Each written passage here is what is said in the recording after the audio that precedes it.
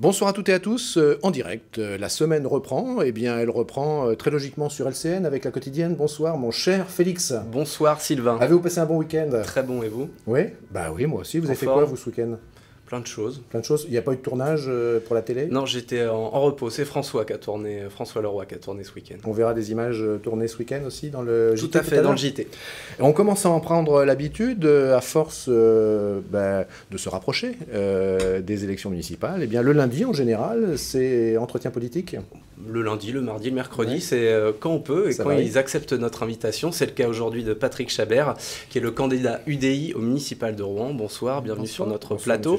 On revient tout de suite à vous et on finit le sommaire. En deuxième partie d'émission, on reçoit Stéphanie Godet, qui est cinq fois championne du monde de danse sportive. Et après, on reçoit Régis pour revenir sur le hockey avec Emmanuel Germont. Voilà, eh bien, tout est dit, c'est rapide, c'est concis. L'émission, la quotidienne, en direct sur LCN, commence maintenant.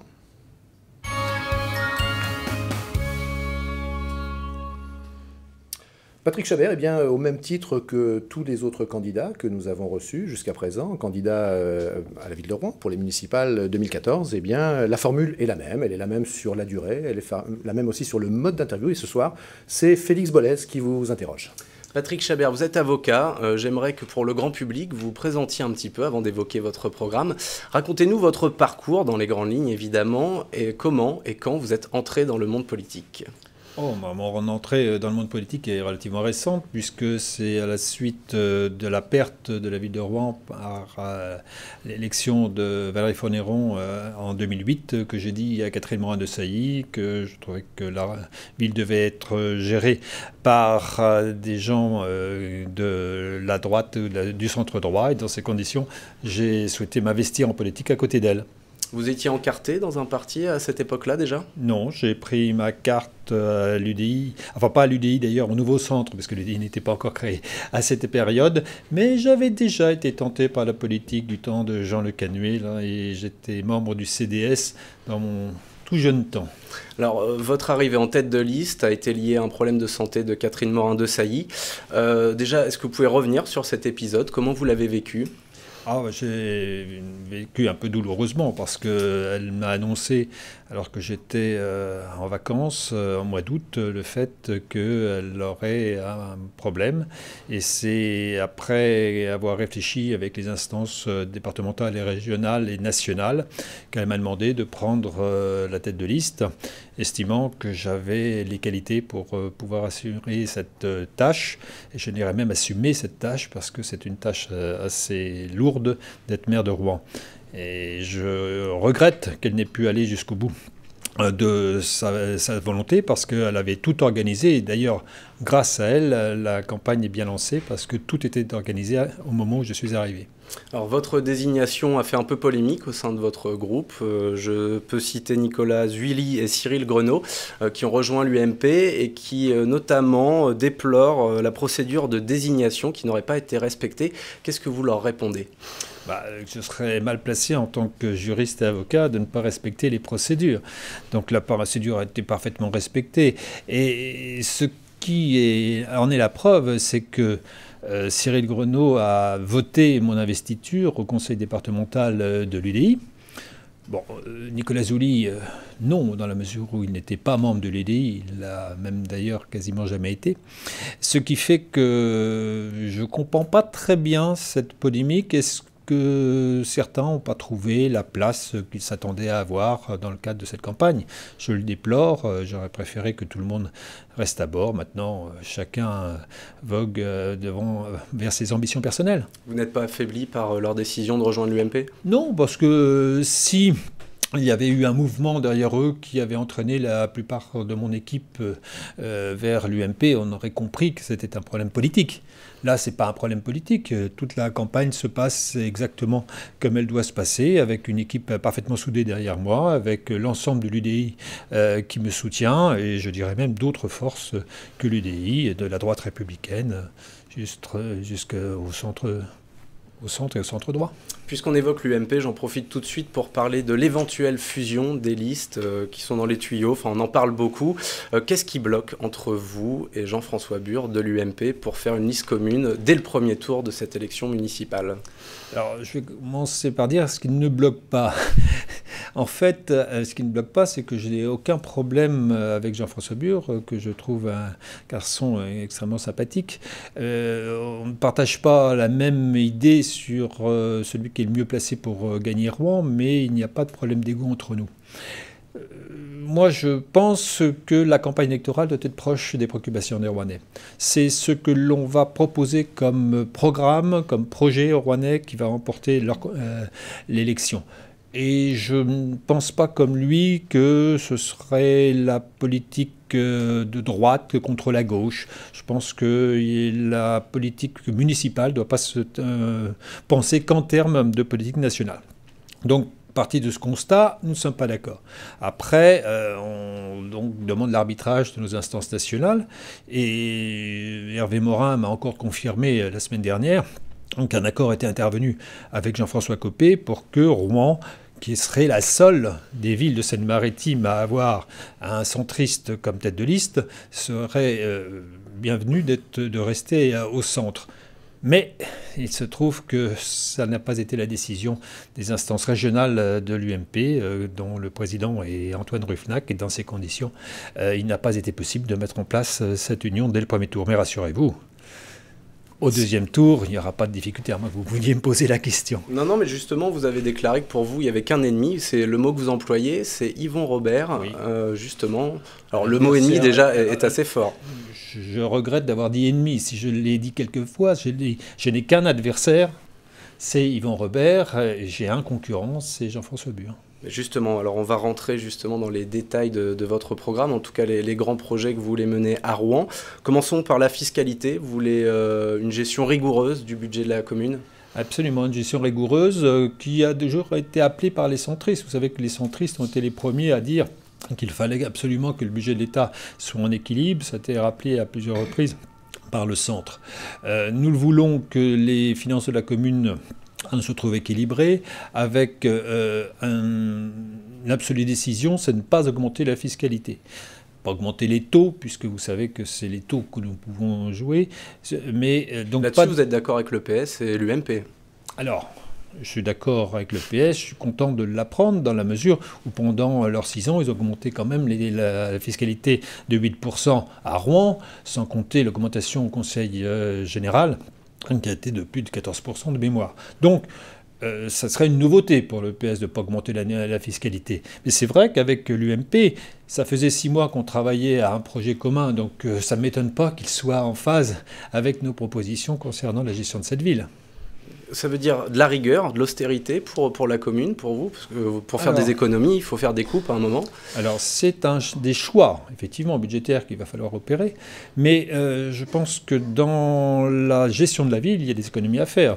Vous savez que Rouen a un pourcentage de, euh, de, de, frais généraux de la ville par habitant supérieur à la moyenne des villes de la même importance. Donc il y a des économies d'échelle à faire, il y a des économies sur euh, la gestion d'un certain nombre de certaines associations, pas de, heureusement, il y en a beaucoup qui euh, font très bien leur travail, mais sinon il y aura un audit qui devra être fait de l'ensemble du fonctionnement d'un certain nombre d'associations. Il y a aussi des économies à faire euh, dans les frais qui me paraissent parfois somptuaires. Donc dégageons des marges pour pouvoir investir dans l'économie de L'économie, justement, pour vous, il faut favoriser le, euh, développement et l'épanouissement des entreprises. Excusez-moi, mais j'ai l'impression que c'est le discours de tous les partis politiques. Vous, quelle est votre méthode, justement, pour développer les entreprises? Alors, euh, ce n'est pas uniquement une incantation en disant il faut développer la vie économique de Rouen et la vie euh, des entreprises. Il y a plusieurs méthodes. La première que je mets en place, c'est un investissement personnel du maire et de ses adjoints dans la euh, quête de, nouveaux, de, nouvelles entreprises. C'est-à-dire que j'ai été toujours frappé en France que euh, les politiques attendent que les chefs d'entreprise, notamment les plus, importantes, viennent les voir dans leur bureau et les reçoivent en disant, avec euh, la présence d'un fonctionnaire, en disant, voilà, c'est monsieur qui va s'occuper de votre dossier. Non, maintenant, c'est plus ça.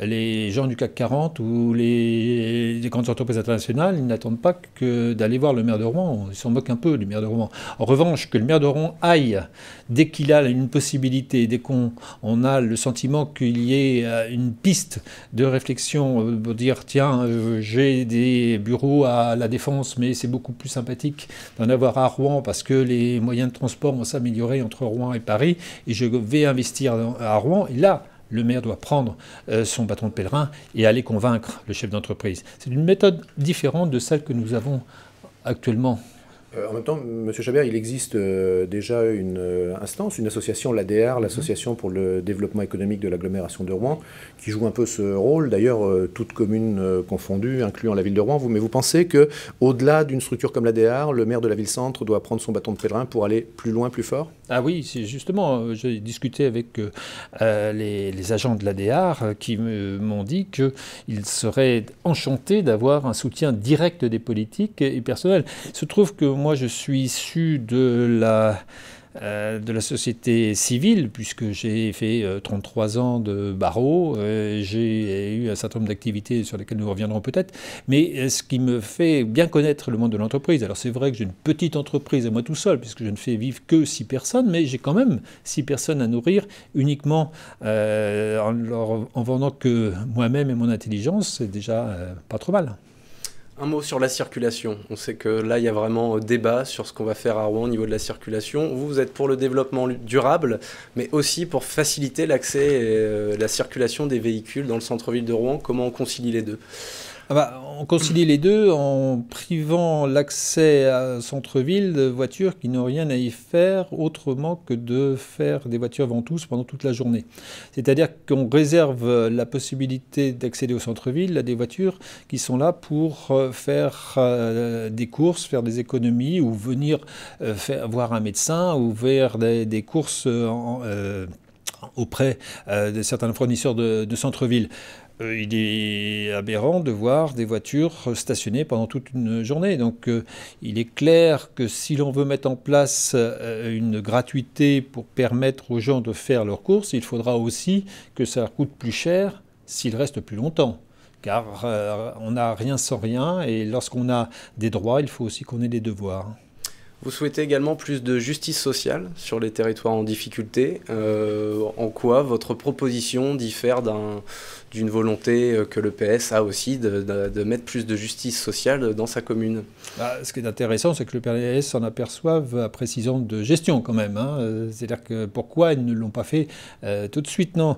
Euh, vous voyez, j'ai beaucoup d'amis ou de clients sur les Hauts-de-Rouen, notamment, et j'ai beaucoup discuté avec eux. Et ce qui est un frein souvent à l'emploi, c'est pas tellement de faire venir des entreprises sur les Hauts-de-Rouen, mais de permettre à des jeunes qui viennent de trouver un emploi d'avoir accès au transport et notamment j'envisage de mettre en place une gratuité pendant un certain nombre de temps, peut-être six mois, euh, pour les permettre de, venir des Hauts-de-Rouen dans leur nouvel emploi. Car ce qui, euh, ce qui coince un peu, c'est que le temps d'avoir votre, votre première paye, le temps de pouvoir mettre en place un nouveau régime avec euh, cet emploi, et eh ben vous ne pouvez pas le faire parce que vous n'avez pas les moyens. Donc là, il y a vraiment quelque chose à faire.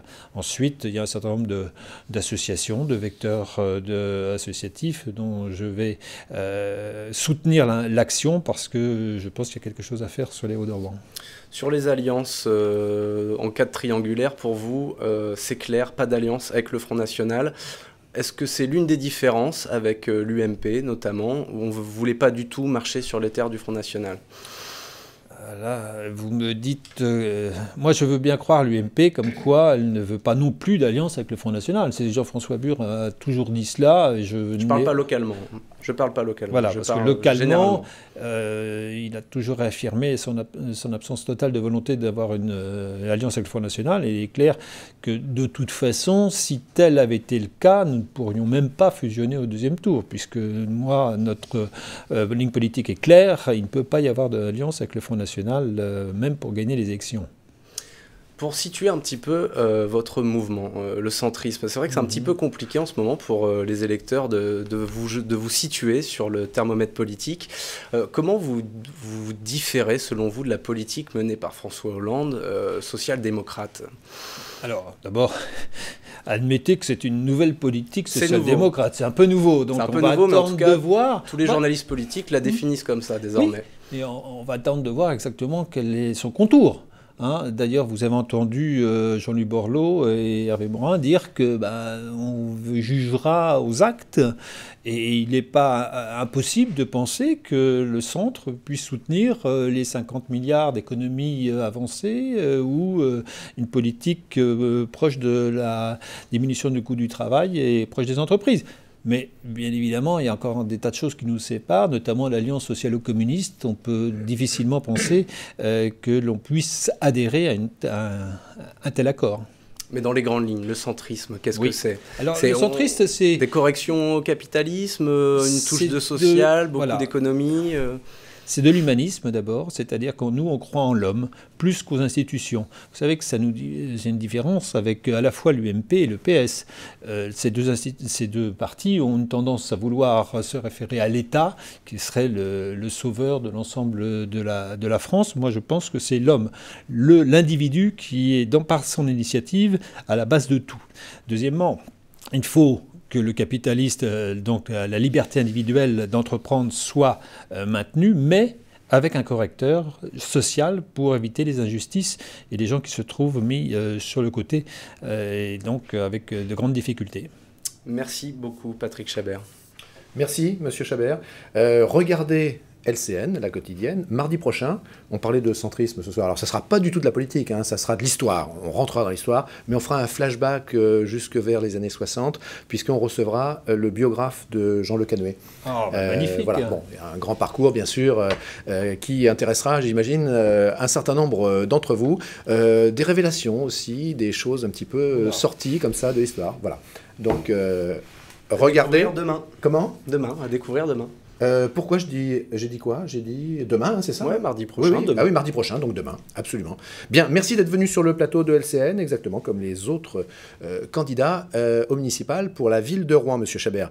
On va passer maintenant à un peu de publicité. juste après, ça sera le point actu du jour avec Félix Bolez, et puis la météo, et puis après, on parlera de danse sportive, on parlera de sport également, de hockey sur glace. Il est 18h32. À tout de suite.